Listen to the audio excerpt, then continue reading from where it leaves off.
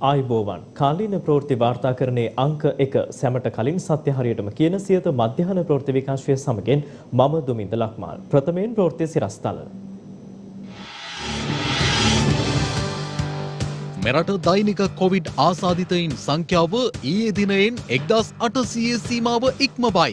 අද දිනත් දිස්ත්‍රික්ක පහක ග්‍රාම සේවා වසම් කිහිපයක් හුදෙකලා කෙරේ. නිරෝධහයින නීති රීති කඩ කළ පුද්ගලින් දෙසිය පහළොස් දෙනෙකුත් අත්තඩංගුවට. ඉන්දියාව සහ ශ්‍රී ලංකාව අතර විදෙස් සම්බඳතා පැවැත්වුවත් නැවත රට තුළට වෛරසය ඇතුළු වීමේ අවධානම අවම කිරීමට පියවර. විශේෂඥ වෛද්‍ය සුදත් සමරවීර කියයි. මෙරට තිබෙන PCR කට්ටල සංවේදීතාවෙන් අඩුයි රවී කුමුදේශ්ගෙන් චෝදනා. අන්තර්ජාලය හරහා LTTE සංවිධානය ප්‍රවර්ධනය කළ පුද්ගලයෙකු අත්තඩංගුවට. ප්‍රථමයෙන් අවධානය දේශීය පුවත් වෙත. ඊයේ දින නව කොරෝනා ආසාදිතයින් 1891 දෙනෙකු හඳුනාගත් බවයි COVID-19 පැතිරීම වැළැක්වීමේ ජාතික ක්‍රියාන්විත මධ්‍යස්ථානය නිවේදනය කළේ. මේ අතර කොවිඩ් හේතුවෙන් මියගිය තවත් මරණ 9ක් පිළිබඳව තොරතුරු වාර්තා වීමත් සමග මෙරට සමස්ත කොරෝනා මරණ සංඛ්‍යාව 696ක් දක්වා ඉහළ ගොස් තිබෙනවා. මේ අතර කොවිඩ් රෝගීන් නිවෙස් තුළ රැඳී සිටී නම් ඔවුන්ව කඩිනමින් ප්‍රතිකාර සඳහා යොමු කිරීමට කෙටි දුරකථන සේවාවක් හඳුන්වා දුන් බව යුද හමුදාපති ජෙනරාල් ශාවින්ද්‍ර සිල්වා මහතා පවසනවා. ඒ අනුව 19.6 ඇමතීමෙන් කොවිඩ් රෝගීන් පිළිබඳව අදාළ තොරතුරු දැනුම් දිය හැකියි.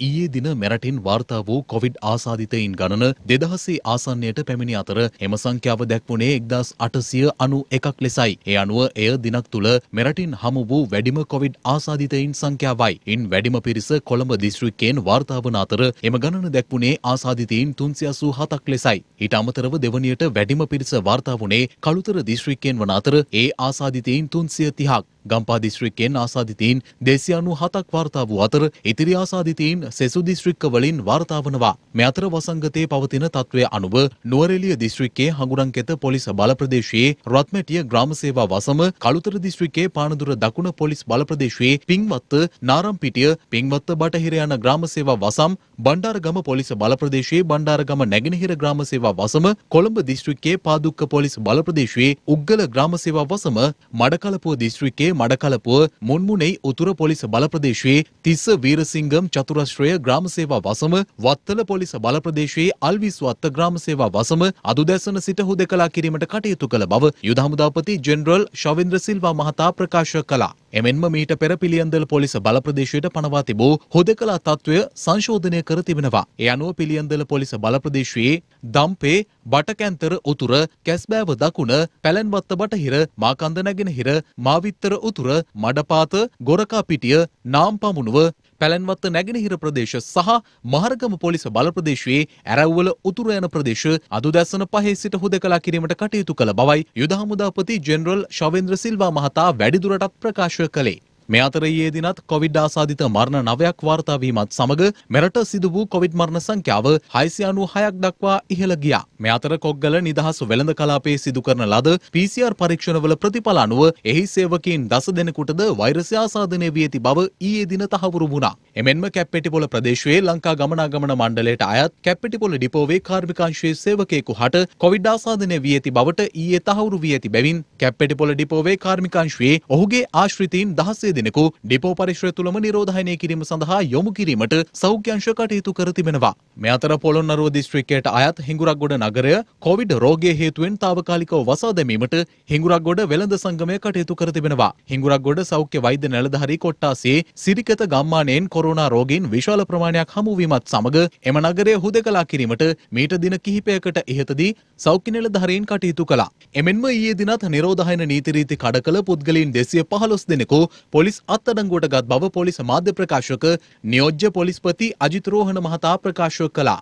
ඊයේ දිනේදී ශ්‍රී ලංකාව පුරාම සිදු කරන ලද මෙහෙයුම් වලින් නිරෝධායන රීතීන් උල්ලංඝනය කිරීමට අදාළව පුද්ගලයින් 215 දෙනෙක් පමණ අත්අඩංගුවට ගෙන තිබෙනවා. ඔක්තෝබර් 30 දින සිට මේ දක්වා අත්අඩංගුවට ගන්නා ලද සංඛ්‍යාව 4857ක් පමණ වෙනවා. නිරෝධායන මෙහෙයුම් අඛණ්ඩව ක්‍රියාත්මක වෙනවා. ඒ වගේම ඊයේ දින බස්නාහිර පළාත තුල සවස් 3 සිට 6 දක්වා පැය 3ක කාලයක් සඳහා විශේෂ මෙහෙයුමක් ක්‍රියාත්මක කරනු ලැබුවා. මේ මෙහෙයුමේදී වෙරළ උද්‍යාන ළමා උද්‍යාන, ජංගම ආහාර සපයන ස්ථාන, එවැගේම පොදු ස්ථාන වල මහජනතාවගේ ගැවසීම, නිරෝධායන රීතීන් අනුව කටයුතු කිරීම ආදී පිළිබඳව සොයා බලනු ලැබුවා. එවැනි ස්ථානවල සිටි පුද්ගලයන් 6328 දෙනෙක් පරීක්ෂාවට ලක් කරනු ලැබුවා. මෙම පුද්ගලයින්ගෙන් 38 දෙනෙක් සම්පූර්ණයෙන්ම නිරෝධායන රීතීන් වලට පටහැනි වන ආකාරයට මුහුණු ආවරණ නොපැළඳීම ඒ වගේම දුරස්ථභාවයේ තබා නොගැනීම යන වැරදි සිදු කර තිබුණා. තවත් පුද්ගලයන් 6 දෙනෙක් සෞඛ්‍ය ක්‍රියාමාර්ග වලට පටහැනිව ආහාර පාන වෙළඳාමේ නිරත වෙමින් සිටිනු ලැබුවා. ඒ වගේම අද දිනේ නිරන්තරයෙන්ම පොදු ප්‍රවාහන සේවාවල නිරෝධායන රීතීන් වලට අනුගතව කටයුතු කරන්නේදයි සොයා බලන මෙහෙයුම් ක්‍රියාත්මක වෙනවා. බස් රථයක ගමන් කළ හැකි ආසන සංඛ්‍යාවට පමණයි. ඒ වගේම සියලු දෙනාම මුහුණු ආවරණ පැළඳිය යුතුයි. යම් කිසි රියදුරෙක් කොන්දොස්තරවරයෙක් සහායකයෙක් ඒ වගේම බස් රථ හිමියෙක් නිරෝධායන රීතීන් වලට පටහැනිව පොදු ප්‍රවාහන සේවාවල මගින් ප්‍රවාහනය කරන්නේ නම් එයාට එරෙහිව නිරෝධායන රීතීන් යටතේ කටයුතු කළ හැකි අතරම එම බස් රථද නිරෝධායන රීතීන් යටතේ පොලිස් භාරයට ගැනීමේ හැකියාවක් තියෙනවා. විශේෂයෙන්ම අද දිනේ සිට විශේෂ මෙහෙයුම් සිදු කිරීමට බලාපොරොත්තු වෙනවා. මත්පැන් මත්ද්‍රව්‍ය භාවිතා කරමින් නිරෝධායන රීතීන් වලට පටහැනිව මෙවැනි සාද යම් පුද්ගලයෙක් පවත්වනු ලබන්නේ නම් එයාට එරෙහිව ඉතා දැඩිව නීතිය ක්‍රියාත්මක කිරීමටත් විශේෂයෙන් මෙම සාද සඳහා තම පරිශ්‍රයන් ලබා දෙන අයට එරෙහිව ක්‍රියා කිරීමටත් ශ්‍රී ලංකා පොලිසිය බලාපොරොත්තු වෙනවා.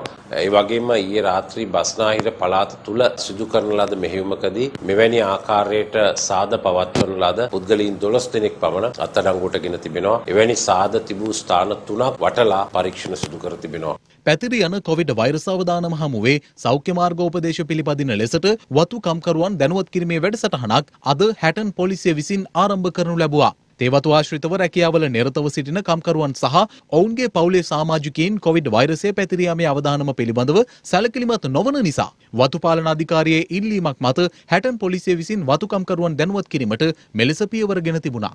වැඩි ප්‍රමාණයක් දැන් කොළඹින් එනවා. මේ කොළඹින් එන මිනිසුන්ගේ වැඩිපුරම ප්‍රමාණයක් කළුගල මාර්ග වාතයෙන් ගන්නකොට අඩු ගානේ 25ක් ගත්තොත් 10ක්වත් අඩු ගානේ පොසිටිව් ඒ කියන්නේ කොරෝනා කියලා එනවා. ඒ නිසා එන මිනිස්සු පිළිබඳව කට්ටිය පොඩි අවධානයක් දක්වන්න ඕනේ. ඉතින් කවුරු හරි කෙනෙක් හම්බෙලාලා මීටර දැන් ඉස්සර නම් කිව්වා මීටරයක් කියලා. දැන් මීටර දෙකක් දුරින් ඉන්නවනේ ඒ තරම් මේක බෝයන වේගය වැඩි වෙනවා.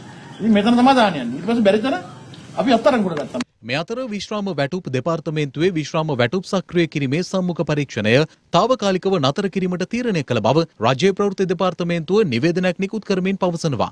ඒ අනුව අද සිට සම්මුඛ පරීක්ෂණ සඳහා දින ලබා දුන් සියලුම විශ්‍රාමිකින් සඳහා ඒ අනුව ඉදිරියේදී නැවත දිනයක් දැනුම් දෙනු ඇති බවයි රජයේ ප්‍රවෘත්ති දෙපාර්තමේන්තුව එම නිවේදනයෙන් වැඩිදුරටත් පවසන්නේ.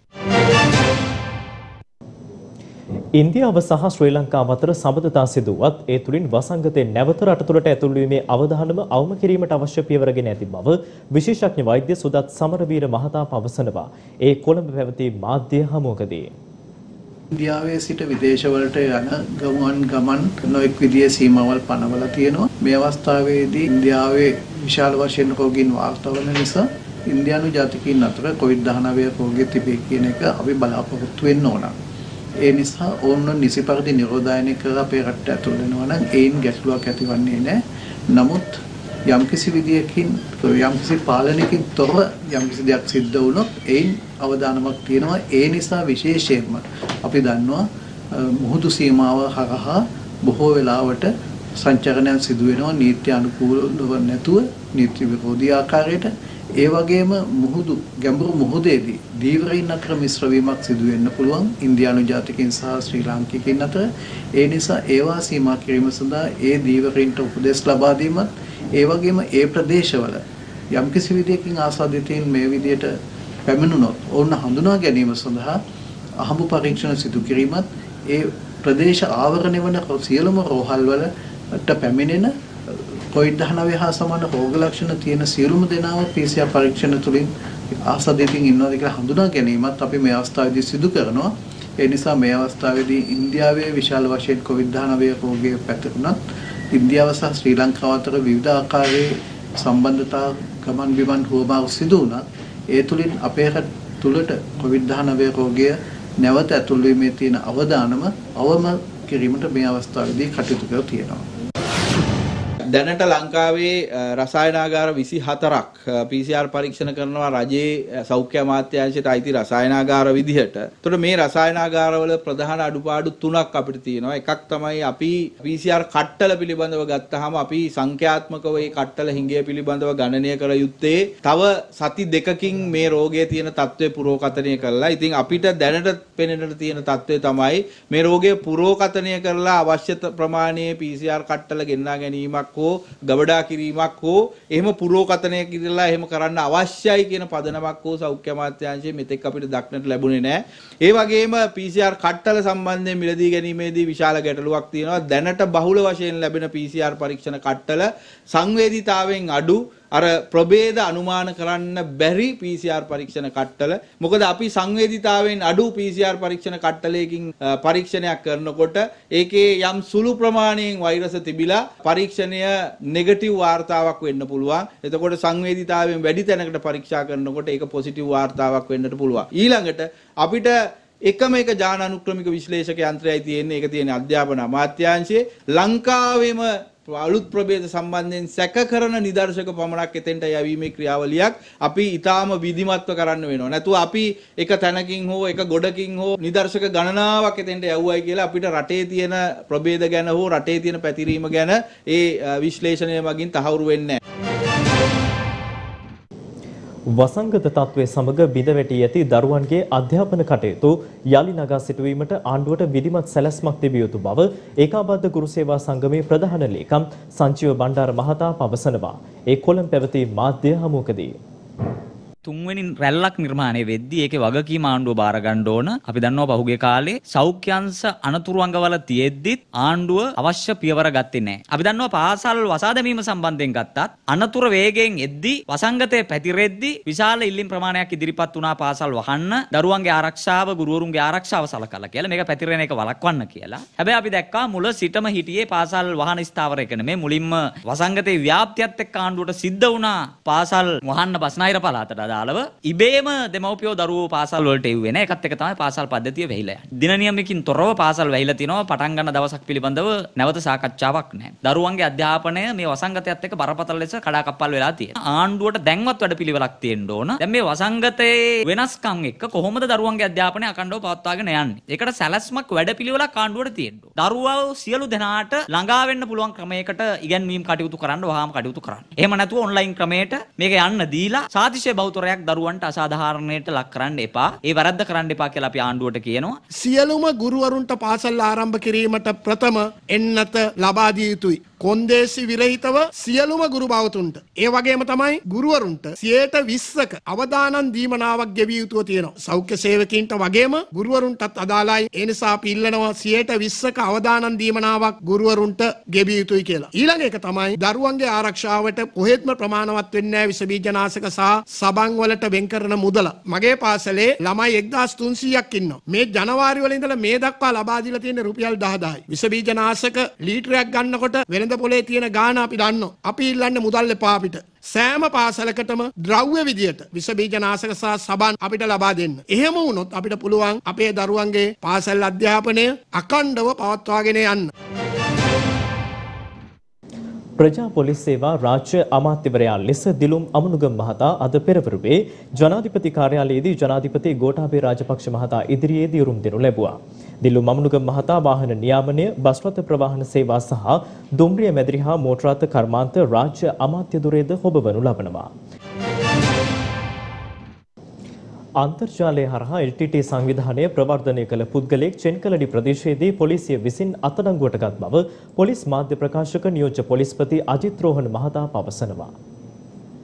LTTE සංවිධානය ප්‍රවර්ධනය කළ පුද්ගලයෙකු එරාවූර් පොලිසිය විසින් චෙංකලයි ප්‍රදේශයේදී අත්අඩංගුවට ගෙන තිබෙනවා. අත්අඩංගුවටගත් සැකකරු LTTE සංවිධානය තහනම් සංවිධානයක් ලෙස නම් කර තිබියදීත් එම සංවිධානය අන්තර්ජාලය හරහා ප්‍රවර්ධනය කර ඇති බවයි පොලිස් මාධ්‍ය ප්‍රකාශක නියෝජ්‍ය පොලිස්පති අජිත් රෝහණ මහතා ප්‍රකාශ කළේ. මෙලෙස අත්අඩංගුවට පත්වැත්තේ රාවූර් පොලිස් වසමේ චෙංකලඩි ප්‍රදේශයේ පදිංචි නවනීදන් පිල්ලේ මෝහන් හෙවත් තියටර් මෝහන් නැමැති 56 හැවිරිදි පුද්ගලයෙක්. ත්‍රස්තවාදය වැළැක්වීමේ පනතේ ප්‍රතිපාදන අනුව සැකකරු රඳවා තබා ප්‍රශ්න කිරීමට නියමිත බවයි පොලිස් මාධ්‍ය ප්‍රකාශකවරයා වැඩිදුරටත් ප්‍රකාශ කළේ. දැන් අධිකරණ පුවත් කිහිපයක් කෙටියෙන්.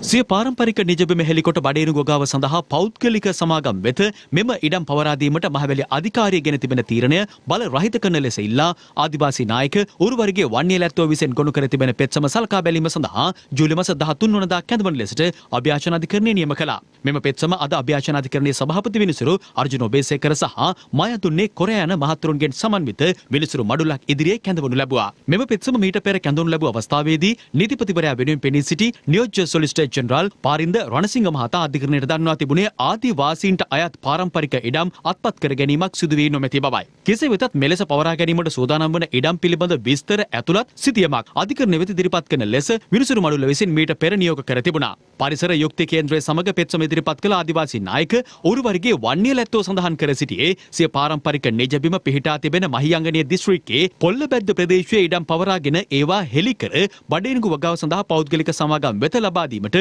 මහවැලි අධිකාරිය කටයුතු කරමින් සිටින බවයි. මේ තුලින් සිය පාරම්පරික නිජබිම් අහිමිවීමේ අනතුරක් මතුවී ඇතැයි පෙන්වා දෙන ආදිවාසී නායකයා එබැවින් මහවැලි අධිකාරිය ගෙන තිබෙන එම තීරණය බල රහිත කරන රේඩ් ආචාවක් නිකුත් කරන ලෙස අධිකරණයෙන් ඉල්ලා සිටියා.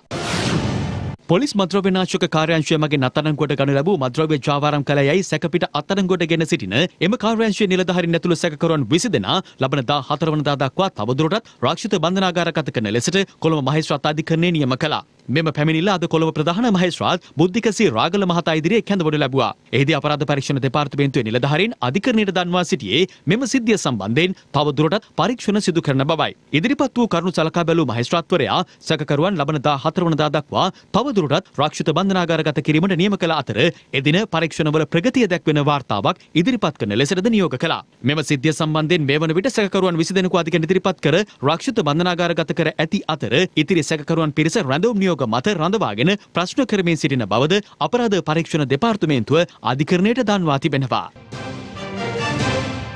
ලොව පුරා ව්‍යප්ත වෙමින් පවතින කොරෝනා වසංගතය දුරු වී රටටත් ලොවටත් සෙත් ප්‍රාර්ථනා කරමින් පැවැත් වූ රතන සූත්‍රය දේශනා කිරීමේ පින්කමක් අක්මීමන කුරුඳුවත්ත බෝධිමළු විහාරයේ මහා සංඝරත්නය ඇතුළු දායකින් විසින් සංවිධානය කර තිබුණා. ඖෂධ වර්ගයක් විෂවීම හේතුවෙන් වයසරුදු අටක දියණියක් මිය ගොස් ඇති බවට චෝදනා නගමින් ඊයේ එම දියණියගේ දෙමාපියන් සහ ඥාතීන් එක්ව යක්කල හුරුළුවැව ප්‍රදේශයේ නිහඬ විරෝධතාවයක නිරත වුණා. බණ්ඩාරගම බොල්ගොඩගඟ රක්ෂිතය තුළ රහස්‍යගතව පවත්වාගෙන ගිය මහා පරිමාණ නීති විරෝධී මත්පැන් නිෂ්පාදනාගාරයක් වටලා රුපියල් ලක්ෂ 10කට ආසන්න නීති විරෝධී මත්පැන් ස්ප්‍රීතු මිලිලිටර් 3,75,000ක් සහ මත්පැන් පෙරීම සඳහා භාවිත කළ උපකරණ තොගයක් සමග සැකකරුවෙක් බණ්ඩාරගම පොලිසිය විසින් අත්අඩංගුවට ගෙන තිබෙනවා. සැකකරු පානතුරු ප්‍රදේශයේ පදිංචිකරුවෙක් බවයි පොලිසිය සඳහන් කළේ. එම පුවතත් සමගින් සියත මධ්‍යහන ප්‍රවෘත්ති විකාශය අවසන්. නැවත හමුවෙමු සවස 6ට අපගේ ප්‍රධාන ප්‍රවෘත්ති විකාශය තුලින්. ඔබට සුබ දවසක්. දිනපතා අලුත් වීඩියෝ සහ ප්‍රවෘත්ති නැරඹීමට ඉහත බටන එක ක්ලික් කර සියත TV සබස්ක්‍රයිබ් කරන්න.